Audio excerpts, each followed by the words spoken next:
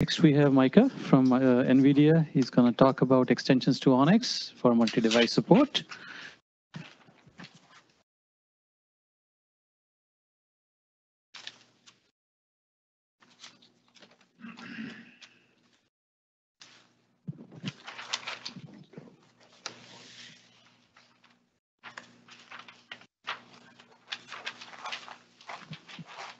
Hi, my name is Micah Villmow. I am a principal engineer on the TensorRT team here at uh, NVIDIA, and I'm going to talk about uh, multi-device extensions to ONNX.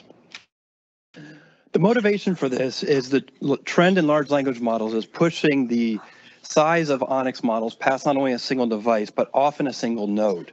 Uh, in, a, in a way, in a high performance computing environment, you need to optimize both the computation and the networking operations to efficiently execute your models. There's no way to represent this in ONNX today, and so you have to write lots of custom software handling both the ONNX subgraphs on a per device and the communication ops across the devices. So what I'm proposing here is some extensions to ONNX so that we can represent the entire thing in ONNX without massively increasing the number of ops and with minor changes to a network. Some of the new concepts I'm going to introduce here is an instance. An instance is a virtual device that executes a part of the neural network uh, on ONNX. Second one is a topology. A topology is a multi um, hierarchical ordering of instances for multiple devices. The next one is a tiling pattern. It's a vector of uh, length rank of the tensor, or it's a scalar one that specifies how do you split a tensor across devices. The tile is the segment of the tensor that is executed on an individual instance. And then the tiling assignment is how you map the tiles to the instances themselves. And then there's a new um, concept called a tensor dictionary. A tensor dictionary is the representation of all the tensors across devices. So first, let's talk about the topology. The topology is a new protobuf entry with two fields. The first is the instance count, and this is the maximum number of instances the model is being built for. The second one is the instance map. This is a list of lists, and it contains, uh, for each instance, you have up to n instances as part of the sublist. And so this is how you map the different topologies. Now, this is just what the model extension looks like, but it's a lot easier to show you examples. So in the top left corner, we have what's called a fully connected mesh. You have a four node in a four node topology where every instance is connected to every other instance. In the bottom left um, corner, you have what a representation of a binary tree topology.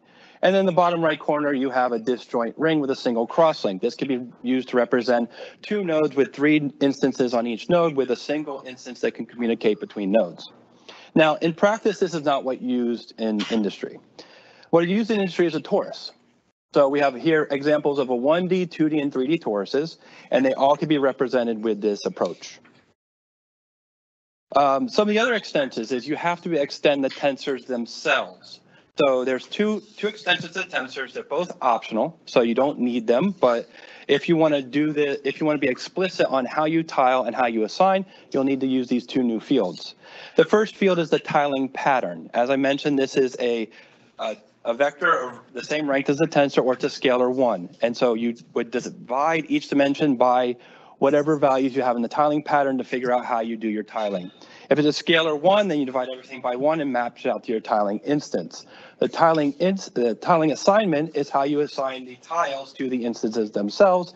So you can do some kind of shuffling of your ordering and using these two, I'll hopefully help you understand that you can handle all of the multi-device um, shuffles or broadcasts you need.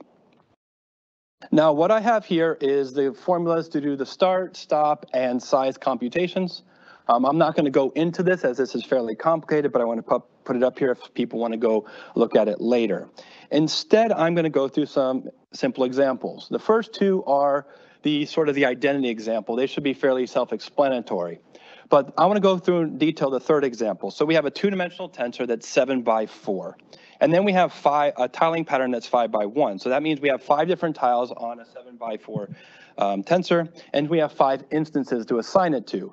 Now, the instances are not in linear order. They're semi-random, so you can change the ordering. And what I've computed here in the center box is the tile start, the tile stop, and the tile size for all five instances. Now, if you're going to take se- uh, seven by four tensor and map it to five instances, there's multiple ways you can do this. But using the formulas I provided, it shows that both instance zero and instance four have sizes of two by four, whereas instances one, two, and three have sizes of one by four.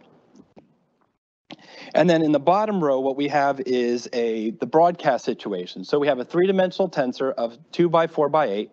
We have a single tiling pattern, so you divide everything by one. And then we have two instances of instance three and instance two. So that means we're creating a tiling pattern for the third and second instance in a four instance system. Um, so if you uh, use the formulas on this, you'll end up with both of them have the start and stop equal to the entire tensor, and the tile size is the entire tensor itself. So now I've talked about, about how you do the tiling and uh, how you do the assignment. But what's important here is the tensor dictionary. So tensor dictionary is how you represent a tensor with these two fields. Now, by default, everything is a tensor for a single device. So every ONNX model you have today fits in this framework. It has a one tiling pattern and it has one tiling instance and uh, it's assigned to one instance which is zero. So everything you have today, all the ONNX stuff works today. Now, if you want to do, say, a data parallel, and you just want to run the same network across two devices, all you do is you keep the first um, tiling pattern the same, and then you just add a second instance to every uh, node, or every tensor. But say you want to do, say, like a tensor parallel, you know, split the tensors across two devices. Then you just have to figure out at every tensor, how do you want to split the tensor? So you add in a two comma one tiling pattern. And then you again set everything to two instances. Um, I have another example of 3D tensors split across six devices. But how do you create a tensor dictionary? How do you index into them? And how do you extract tensors from that tensor dictionary? Now, earlier they talked about not wanting to add lots of ops. And so one of the approaches for this is, or one of the benefits of this is we only add two new ops, an instance join and an instance split. An instance join op takes two tensors and creates a tensor dictionary. Now, what, how it does is, is the first input to instance join becomes the first instance location, the instance assignment location, and the second input to instance join becomes the second instance assignment location. Now, on the right graph, we have the instance split. So I'm taking a tensor dictionary that is tiled four ways across four instances, and I'm splitting it out into four individual tensors that are also tiled four ways. But what you'll notice here is there is a zero and then three negative ones. The negative ones means that that tile is suppressed for that uh, tensor, or sort of that tensor dictionary. And so what we'll have is four tensors that are tiled four ways, and they're assigned to four different instances. And you can treat these just like a normal tensor or anything else. Now, the reason you would need this is to do communication. And so we also, with the instance join, you can combine both the um, single instance tiles and tensors along with another tensor dictionary. So that's how you can combine uh, multiple different paths if you have parallelism across different device devices or different subgroups. So once you have all this, how do you actually evaluate it at runtime and when you're importing it?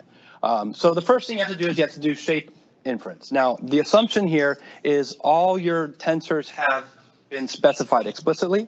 If there's implicitly, the importer needs to go and propagate the, however they feel. Um, but by default, we're assume here that everything is specified. So you do your shape inference, which is an input to output flow. And then you have to do an output to input communication inference to find out where you need to insert your communication primitives if they are required. So this is a naive implementation, just to give you just something what you can do. But if it's a scalar input and a vectorized output, you just input a broadcast in on the input and then use your tiling pattern. If it's a vector input and then a scalar output, you do compute everything and then you input an all gather operation. And if there's a vector output and a vector input, you put it all gather on all the inputs, compute everything everywhere, and then use the tiling patterns on your outputs. Now, again, it's inefficient, it's not what you want to do in practice, but it functionally does work. So that's the presentation. Are there any questions? Yes. Um, I guess, uh, because you're doing, you're adding these splits to a graph, it's Yeah. pretty hardware specific. You'd want certain splits because you might have a certain amount of memory on a specific chip. Yep. However, part of, I guess, the appeal of ONNX is that it's hardware agnostic. Um, do you think it's the right level of abstraction to be doing this, um, in the ONNX model itself and adding this to protobuf? So the question was, is this the right level of abstraction for something that's supposed to be hardware agnostic? Um, In practice, in multi-device inferencing and uh, even in multi-device training, you sort of know what hardware you're going to be running on and what the topology is. Um, I don't, I have not yet figured out a way to do this in a hardware agnostic way. Now, there's been, there's ways we could extend this so that we have um, different hardware models and different pro, uh, like basically you can have a hardware vendor specific topology. But that's why I'm bringing this up as a proposal to the ONNX community so that we can discuss all the different variations. Um, I think his hand was up first. So following up on that question, does this um, assume homogeneity in hardware? For example, if, you know, going with the vendor abstraction or vendor abstracted model, if you had different hardware types from different vendors, could you still apply, apply this approach to get the most efficient use of the hardware? So this is why I talk about it as an instance that executes a, a slice of the model. How, where, what hardware it maps to is dependent on the importer to decide. So we could, uh, on some of our embedded devices, we support both GPU and DLA. We could map instance zero to GPU, instance one to DLA, and it, it should still work correctly. Now, that's up to the importer to decide. Um, How it maps to the hardware is not defined here. It's just how it, how the tensor maps to the virtual device or the instance is what's defined. And you can even map, if you want your hardware is big enough, it don't, doesn't need multi-device, you can then take it and say, these two instances map to one device. But that's an implementation detail and it's not required by the uh, specification. Yeah. Where can we put in our comments about your proposal?